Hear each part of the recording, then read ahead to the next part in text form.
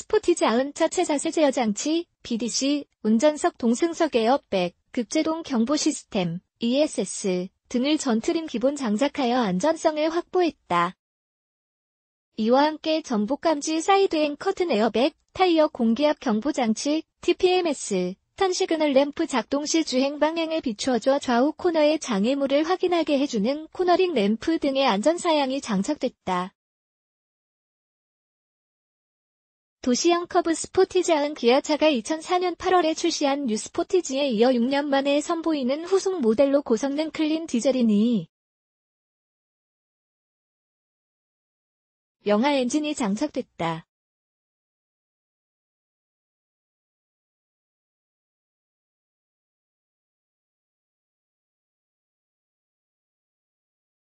기아차가 내달 출시 예정인 신차 스포티지R 프로젝트명 SL의 사전 계약을 18일부터 실시한다.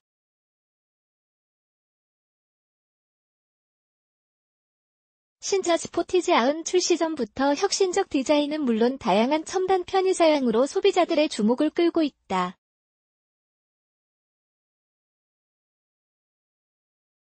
스포티지 또 도로 상태에 따라 감쇄력을 최적화해 승차감과 조종 안정성을 향상시킨 진폭감응형 댐퍼, ASD, 엔진은 변속기엔 에어컨을 최적의 연비 모드로 제어해주는 active eco system, 타이어 구름 저항을 감소시켜주는 실리카 타이어 등으로 연비 개선을 구현했다.